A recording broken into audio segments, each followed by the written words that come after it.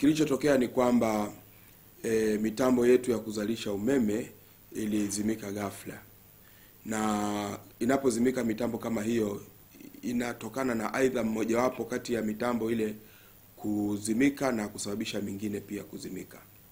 Sasa ilipotokea hivyo na mitambo yote ikawa imezimika, nchi nzima ilikuwa gizani.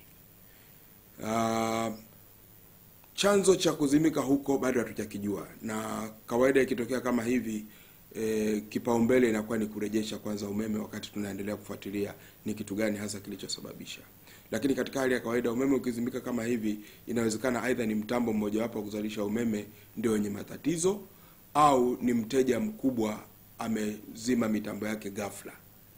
Lakini hayo yote tutayapata baada ya kufanya analysis ya data na kutoa taarifa rasmi. Sasa baada ya hilo kutokea, tulichokifanya kwa haraka sana, tulianza kurestore umeme, tulianza kurudisha, na tulianza na kituo cha Mtera ambacho kilipowaka kiliweza kupeleka umeme kwa haraka kule Dodoma, kwa sababu Dodoma kulikuwa na kikao cha bunge kinaendelea, na kutoka Dodoma tukaweza kupeleka pia Singida na Mbeya.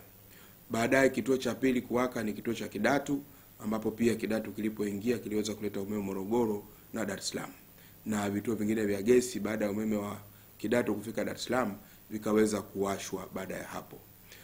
E, labda kwa kifupi ni kwamba tatizo kama hivi linapotokea, mitambo inayoweza kuanzisha gridi baada ya gridi nzima kuzimika huwa ni Kidatu, Kihansi na Mtera.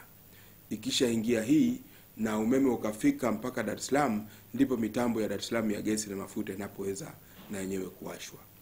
Kwa hivi ninavyozungumza, sehemu kubwa ya nchi imekwisha kupata umeme, lakini ninachoweza kusema ni kwamba e, TANESCO tunaendelea kuangalia ni kitu gani kilichotokea na kuhakikisha kwamba tatizo kama hilo halitarudia tena.